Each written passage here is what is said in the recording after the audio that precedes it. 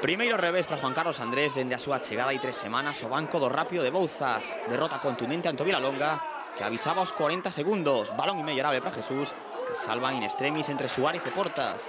Foi un principio eléctrico de partido, minuto 8, polémica. Os locais piden gol neste córner olímpico de Víctor Besada. E apunta o rápido, vería cartón amarelo polas súas protestas.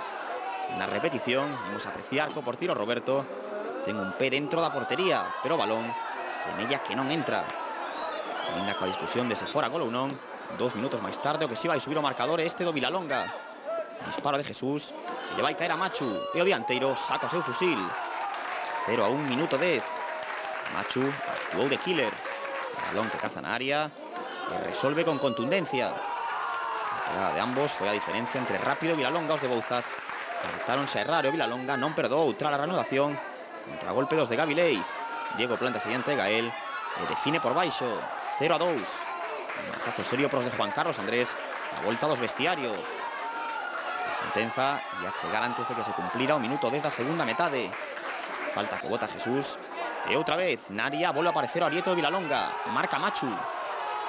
0 a 3, partido pechado. Rápido leva dous meses en gañar un encontro.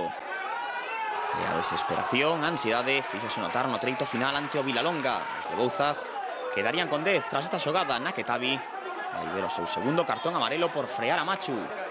E para aumentar o nivel de desesperación nos últimos minutos, os de Juan Carlos Andrés adicáronse a estragar ocasións.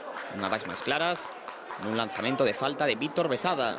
No que primeiro vai respostar Roberto, e logo Calo non é capaz de definir o seu lanzamento baixo pau. O rápido afúndese un pouco máis tras a derrota por 0 a 3 ante o Vilalón.